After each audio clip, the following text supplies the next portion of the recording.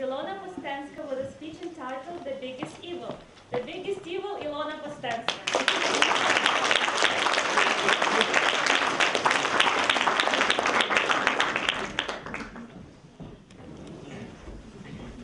Good evening, dear friends. Nice to see you all here. To begin with, please raise your right hand. Everybody, come on, come on. Not like this, like this. and put it in your heart. And now please answer my only question. What is the biggest evil in your life? Come on, be honest, at least tonight. Ah, that's a good barrier. I know it's very hard to, to make to come up with some answer. So before coming to you, I made a survey among my friends.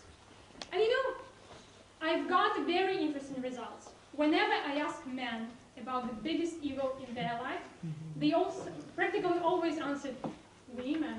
and when I asked women, what is the biggest evil in your life? The usual answer was chocolates. then I had to put some additional answer. Where do you spend most time of your life? And the answer was unanimous. Work. Dear friends, now, despite the fact that my colleagues are sitting over there and watching me carefully, I declare work is the biggest evil in our life. Some, somebody's shaking heads in disagreement. Well, you see, of course, you might say, I love my work. Work is very important for me. Work brings fun, pleasure, satisfaction when it's well paid. Sure, due to work, I can make a brilliant career. I can get a distinguished social status. It contributes to my personal and professional development. Well, all this reasoning is right, on the one hand. But what do we have on the other hand? Just imagine, there is a cool concert, and your friends are inviting you. Sorry guys, I have so much work these days. Perhaps next time. Or your relatives are coming from abroad, and there is a huge family reunion. Sorry mom, sorry dad. I have a very serious deadline. I can't come. Does that sound familiar?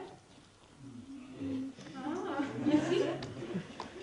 Unfortunately, besides this precious and fun time which we could spend with people whom we really love, very often we sacrifice so many other important things in favor of work. I guess nobody can deny that work ruins our body. You know, I'm also like a typical office plant like many of you here. Every morning I plant my body onto the chair and hardly ever move it during the whole day. All my work is done here, within this processor. But what is happening to the rest of my body? I'm getting short-sighted, stooping, and feeble. By the end of the working day, I feel myself so much weak that I can hardly keep my processor in the upright position. So, you see, work takes away our body, takes away our time, and together with this, it also takes away my mental health. And I'm not kidding here. Just imagine presentation, deadline, invitation, deadline, conference, deadline, project, deadline. I hear the word deadline constantly. And it sounds the same in all four languages which I So tell me, how can I be mentally healthy if I hear the word deadline so many times per day? So you see, work takes away your, body, your mind, your time, and what is left? Your soul, right? Forget about it. Relax. it's taken already. You know, in our world, mingling, such trendy words, everybody's doing it for work. You know, I also have to do networking for my work. But frankly speaking, I'm already fed up with this constant chase for contacts.